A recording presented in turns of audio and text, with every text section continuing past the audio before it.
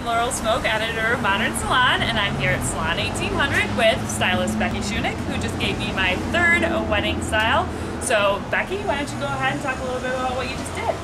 All right, well, basically what I did was I started with a, blow drying it out smooth first with a little bit of Redken Fabricate.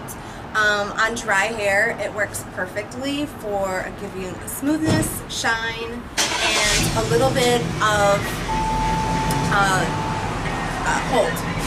Then what I did was I carved out a circular piece on top of her crown area, pinned it with a bobby pin and or two bobby pins and a rubber band to form a ponytail. Then I pinned all the pieces up around the ponytail.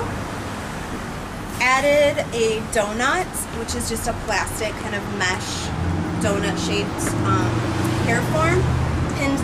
Pinned that in with some hairpins and then pin, um, gently backcombed every like five pieces to give it a lot of fullness mm-hmm. and then smoothed them down and pinned them around the hair form and then kind of closed all of the gaps with hairpins.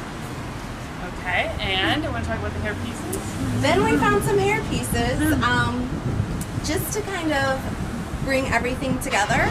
Took a couple hair pieces, pinned them in the back, and then twisted them around.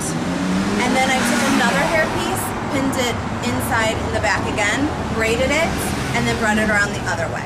Your two of your favorite products for updos. My two favorite products for updos, one is the Redken Fabricate, which is heat activated. It gives amazing shine and smooths down the hair to prepare it for every updo. And my little tiny brush with a tail comb, it works for me every time. Makes this? This is by Chi. Okay. Thanks. We'll see you for the next updo.